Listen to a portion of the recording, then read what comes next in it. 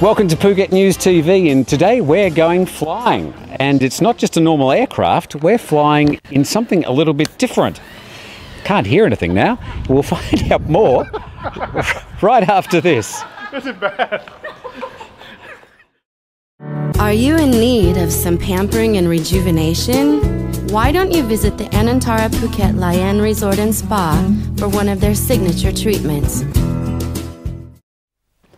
Well, this is the MTO Sport. Now, you might recall uh, a few months ago we flew in another yellow aircraft. Have a look at this. I have to ask you first, for the people that maybe don't understand what a gyro, an auto gyro is, how does this differ from a helicopter? It sort of looks a bit like a helicopter, but then again, it, it acts more like a plane. Exactly. I mean, autogyro, you could simply say that it's a, it's a mix between a helicopter and an airplane. On the ground, during the rollout and the takeoff, it acts more like an airplane. So that was the Cavalon, an amazing aircraft. And this is sort of its, uh, well, its brother or its sister. It's a two-seater, front and back, so it's a little bit different.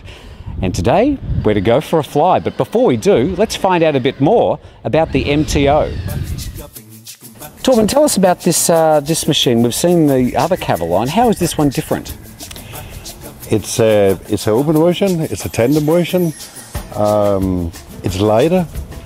It's um, we used to call it the, our bike in the sky. It's a little more aggressive. You could say the Cavalon, as you tried it before, is a conservative machine. This bird just want to fly. I mean, she's amazing. Now, just for people that haven't seen these gyrocopters before, how do they differ from a plane in, in the way you fly them or the way they behave?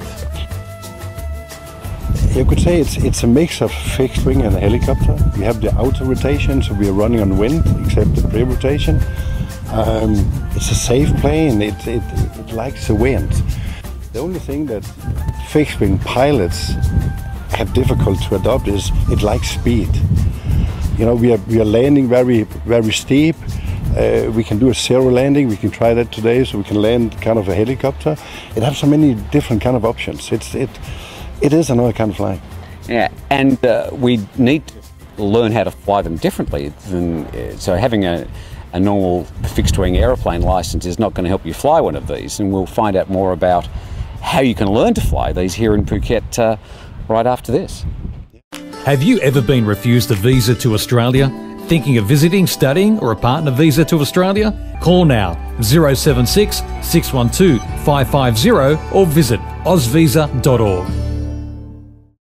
The key difference between the original Cavalon and this is the fact that in the Cavalon you're side by side, enclosed, and this one you're front and back, so the pilot sitting in the front and the passengers sitting behind.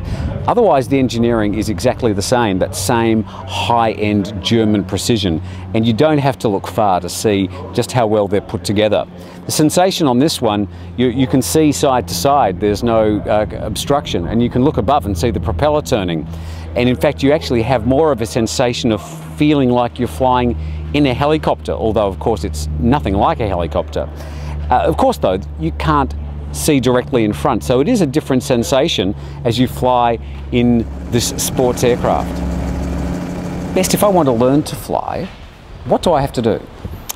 The process is quite simple, Tim.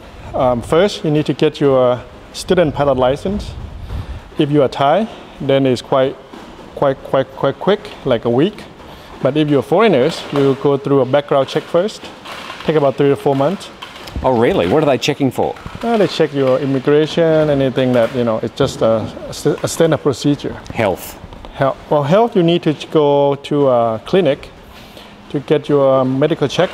But this is outer pilot license (UPL). You don't need the the class three because class four which is a normal one you get for a driver license. Okay. So how many hours is it going to take me to learn to fly until, say, I go solo? Um, by law in Thailand here, UPL, you only need uh, 15 hours, but that's too little in our opinion. So we follow a UK syllabus, 45 hours. So I solo in about 55 hours, Torben, and then um, Arnold's also solo. So I think about 50 hours would be. Um, what are going to be the costs of getting to that stage of, of going solo?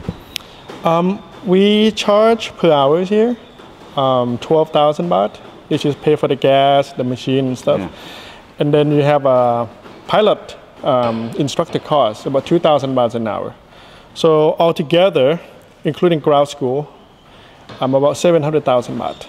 So you're learning the theory of flying and you're actually learning how to fly the plane. Correct. And um, okay, I want to buy a MTO Sport. What would that cost me if I bought that off the shelf in that condition? That would probably run you about 5 million starting, depends on your bells and whistle you want to put on. That about 5 million baht.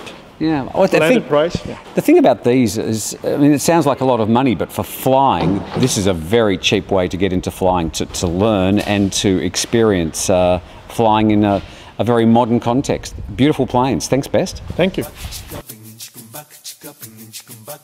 Best, what? How do we contact you? Go to our Facebook page, By the Air, and then we have our phone numbers and details in there. Okay. Contact us. Thank you very much for taking me on a flight, and uh, best wishes with By the Air. Thank you.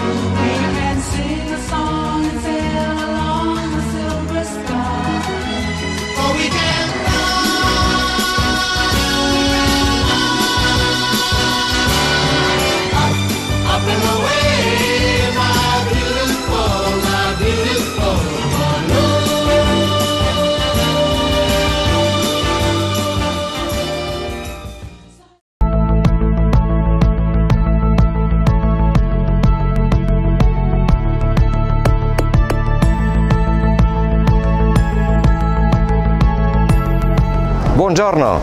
Bonjour. Hey, Assalamualaikum warahmatullah. Buenos dias. Nin hao. Здравствуйте. Привет. Guten Tag, ich spreche Deutsch. สวัสดีครับ We are ready to provide international medical service with warm Thai hospitality. Call us at 1719.